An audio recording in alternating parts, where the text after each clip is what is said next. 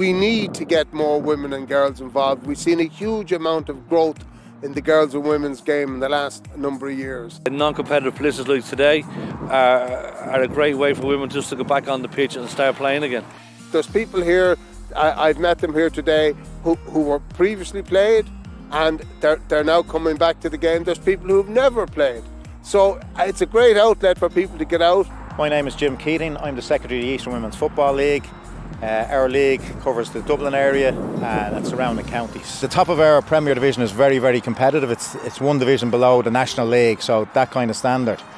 But we also go down to we've Premier 1, Premier 2, League 1, League 2, League 3. We've also then identified that there's another group of players, you know, uh, mothers, uh, players that have played before, or players that just want to, in, you know, get in, in, sort of introduce themselves into football, and that we didn't really have a level for them. So the recreational sort of uh, teams that are springing up all over the Dublin region, you know, is another outlet for them. So, and from our point of view, we're also getting competitive teams out of them. You know, and they come and they play recreational for the year. They realise how competitive they are, and then want to go, you know, progress into a competitive team. The reason I set up the recreational teams is because I was looking at my own daughters playing, and I used to play myself years ago. haven't in a long time and I just thought, you know, there's probably lots of other women out there who would like to maybe get back to doing some sort of more for a social element, you know, to get back out, try and get fit again.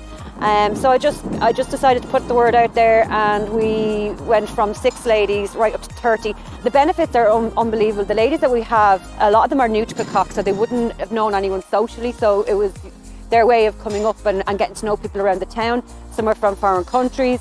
Um, a lot of women who had played before had children and now are coming back to the sport. We actually just opened it up to everybody that wanted to come out. A lot have never played sports before, and um, it was just great to see so many women coming out and taking part. I feel that this club and where we're at now with girls and ladies football and what we've done to promote it, with the support we've had from the executive committee, has helped our club to get where it is today in relation to ladies and girls football.